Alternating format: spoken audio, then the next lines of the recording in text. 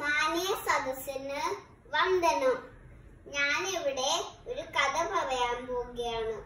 കഥയുടെ പേരാണ് ആമയും മുയലും. പണ്ട് പണ്ട് അഹങ്കാരിയായ മുയലച്ഛനും നല്ലവനായ ആമച്ചേട്ടനും ഉണ്ടായിരുന്നു. അപ്പോൾ അവർ പണ്ട് നടക്കുകയായിരുന്നു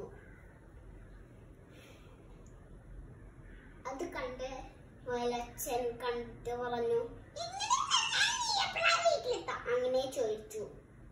മുയലച്ഛൻ പറഞ്ഞു ആമച്ചേട്ടൻ പറഞ്ഞു വേണ്ടി വന്നാൽ ഞാൻ നിന്നേക്കാളും വേഗത്തിൽ നടക്കുമല്ലോ? അത് കേട്ട് മുയലച്ഛന് നല്ല ദേഷ്യം വന്നു. മുയലച്ഛൻ പറഞ്ഞു അങ്ങനെയാണെങ്കിൽ നമുക്ക് ഓട്ടപ്പന്തയം വെച്ചാലോ അങ്ങനെ പ- ചോദിച്ചു അത് കേട്ട് ആമച്ചേട്ടൻ പറഞ്ഞു ശരി നമുക്ക് വെക്കാം. ആ പറഞ്ഞ കൂട്ടുകാരെല്ലാം കൂട്ടുകാരെ വിളിച്ചു. അപ്പോൾ അവർ ഓട്ടപ്പന്തയം തുടങ്ങി. എന്നിട്ട് അവർ മുയലച്ഛൻ കുതിച്ചു വായു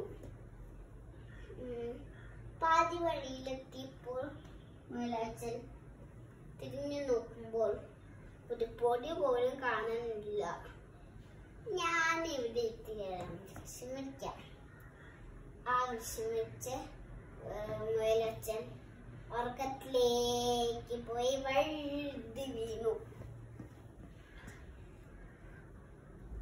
മുയലച്ഛൻ പതുക്കെ ആമച്ചേട്ടൻ പതുക്ക പതുക്ക പതുക്ക നടന്ന് ലക്ഷ്യസ്ഥാനത്തിലെത്തി. അത് കേട്ട കൂട്ടുകാരെല്ലാം ഒച്ചത്തിൽ കൈയടിച്ചു അത് ഞെട്ടി എണീറ്റു മുയലച്ഛൻ അപ്പം പോയി. കൂട്ടുകാരെ ഇതിൽ നിന്ന് എന്താണോ മനസ്സിലായേ? ഒരിക്കലും നമ്മളുടെ കഴിവിൽ അഹങ്കരിക്കാൻ പാടില്ല. അഹങ്കാരം ആപത്താണ്. നന്ദി.